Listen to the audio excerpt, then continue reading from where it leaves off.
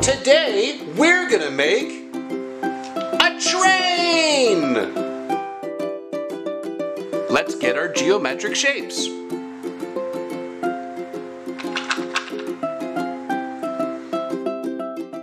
Let's make our train. First, we're gonna start with one, two yellow hexagons. A hexagon is a six-sided polygon. One, two, three, four, five, six. One, two.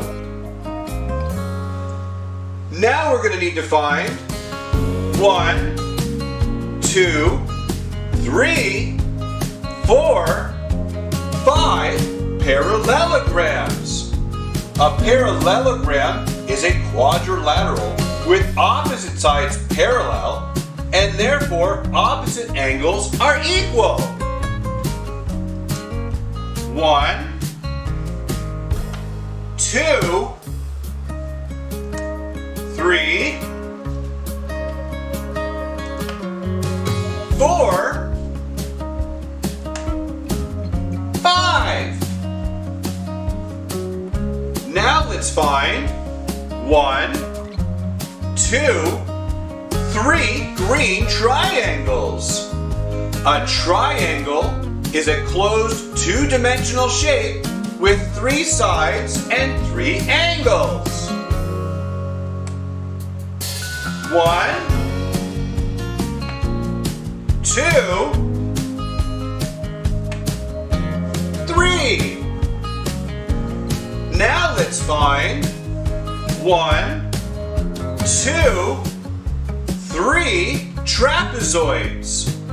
A trapezoid is a flat, closed shape having four straight sides with one pair of parallel sides. One, two,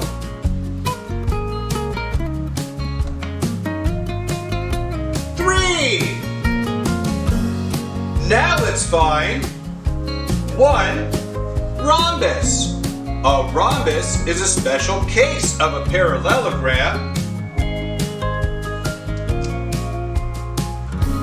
One. Now let's find one, two, three, four, five, six, seven squares. A square is a two-dimensional closed shape with four equal sides. One,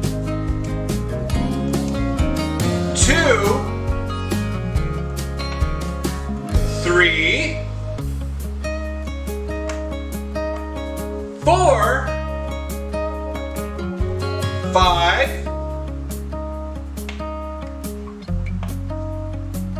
six, seven. Yay, we did it! We made a train!